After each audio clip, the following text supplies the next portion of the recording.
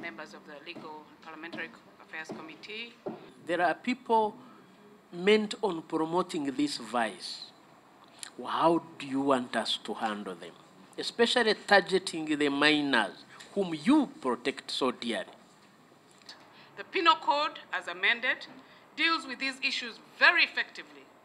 So does the Sexual Offences Bill, which this Parliament itself passed recently.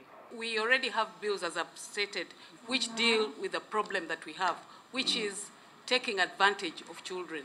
Mm. We already have that law. Mm-hmm. So, in my view, this bill should be scrapped. It should not be given the light of day. Should the sexual abuse of children be punished? Absolutely. Should their recruitment in sexual acts be punished? Absolutely. Should rape be punished? Absolutely. Both heterosexual and homosexual abuse of children and sexual assaults must be punished in the harshest possible way. But let's not make a mistake.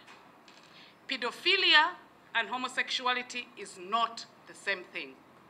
And it's well established, Honorable Chair and members of the committee, that the majority of pedophiles are heterosexual.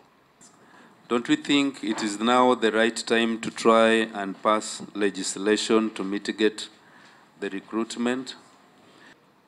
Honorable Amama Mbabazi was the principal author of the Public Order Management Act in 2011. When he contested for presidency in 2016, it was his POMA that the government used to stop him from moving around the country and campaigning. Don't be surprised when this law comes back to haunt you one day. Must we, as legislators, put down the weapons and say we should not legislate as a, for, to, for the betterment of our community?